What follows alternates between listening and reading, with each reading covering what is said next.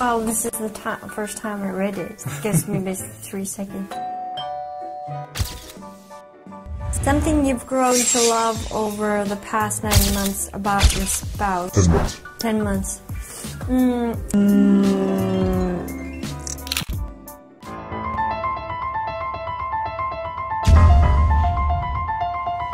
is a bit more personal. This is something that is very beneficial for any couple. A genius, more than a genius, I think.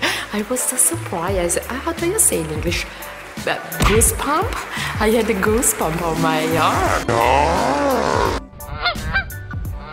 Deep, deep desire to communicate. Communicate. Communication superhero.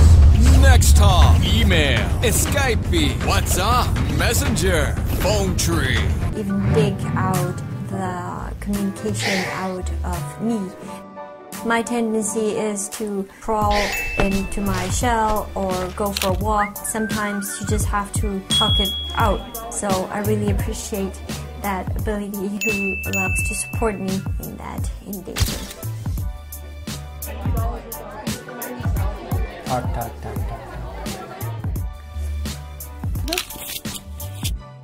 Something that I've grown to love about my wife, spouse. Oh, that's not very hard to answer. My Wife is, is a beautiful, gentle dove.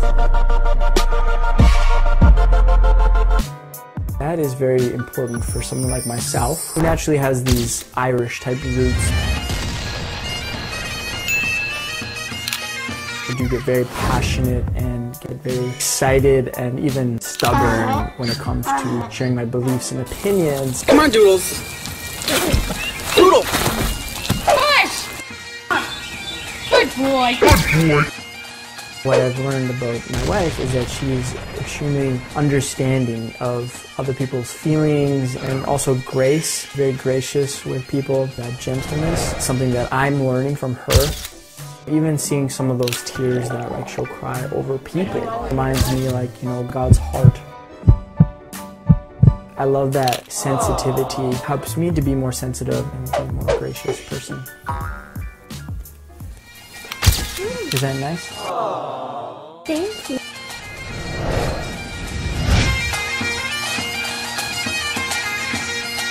I sit here like a stiff-legged man, and she's sprawling around in the back like a leathery bamboo